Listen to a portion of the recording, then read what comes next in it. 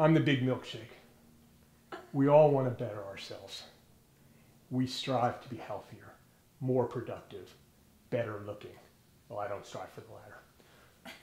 But, but, one of the best ways to improve ourselves is to help others.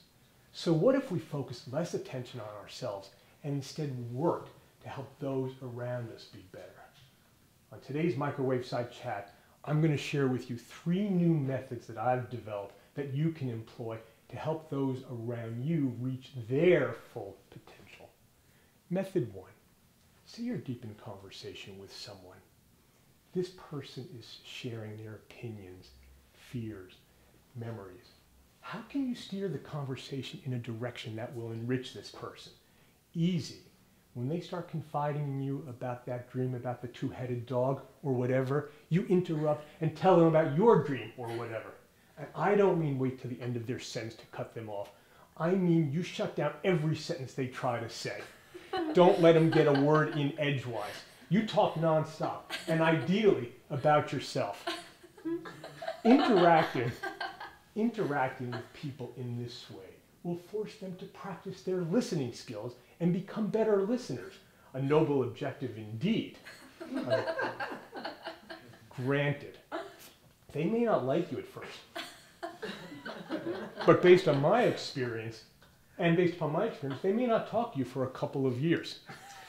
but, but, when you leave lengthy messages on their voicemail every night at 2 a.m., I can assure you they'll be listening.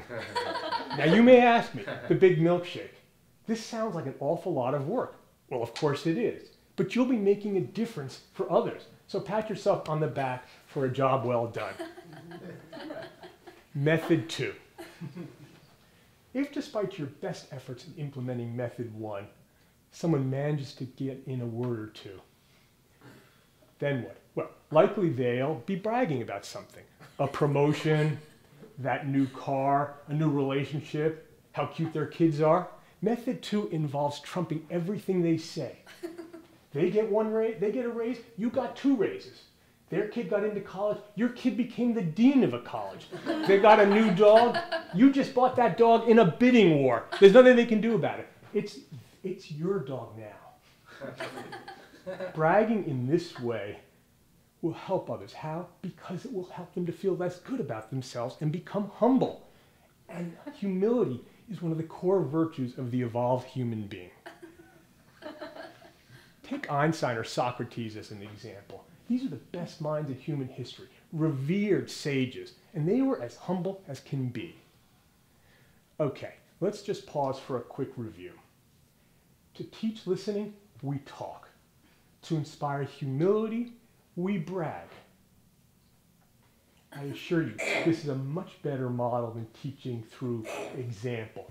I call it, than, than teaching through example, I call it teaching through opposites. Okay, let's move to method three. But first, any questions? Okay, good. Method three, I'm going to lay the foundation and you guys give it a try. Okay, it is said that giving or being charitable is good for the soul. Now, keeping in mind teaching through opposites, how can we force others to give back? Any ideas? Armed robbery.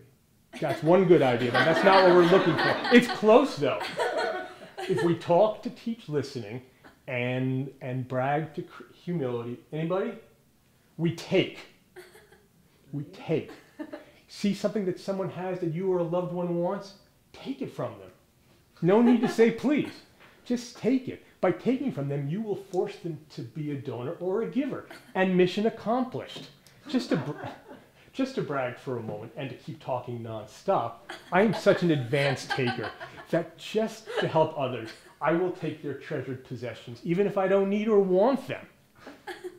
Let me just give you one example of the power of taking. The other day, I shoplifted a banana from this small deli over at the corner. The store owner saw what happened and he ran after me. He grabbed me by the arm. He looked in the eye and he said, Thank you. Thank you for taking from me. I so appreciate the chance to be charitable and give you some fruit so that you won't starve. He then went on to thank me. He thanked me again. He thanked me for the exercise he got running after me. You see, his doctor had told him that he had to begin exercising or bad things would happen. And he'd been reluctant to do so. Who knew? His running after me, because I took from him, forced him to exercise. And then he thanked me because my banana theft gave him a moment of appreciation for all of the bananas he still had in his life. well, this is what he was going to say, except for the fact that I interrupted him, bragged about my $60,000 Rolex, and uh, quickly fled the scene. but I know what was in his heart. And what I said is what he would have said if he had a chance. And so you see, by taking from this man, I gave him the gift of giving. And by taking from this man, I gave him the gift of exercise and therefore help, health. And by taking from this man, I gave him the gift of gratitude. I was almost in tears. I wasn't in, I wasn't in tears, but I almost was. In closing, I simply ask you this. Do you want to give back in this way? If so, then you can start by taking taking the advice I have shared with you in tonight's microwave side chat. Mm-hmm. Until next time, I'm the Big Milkshake, wishing you as many milkshake moments as possible.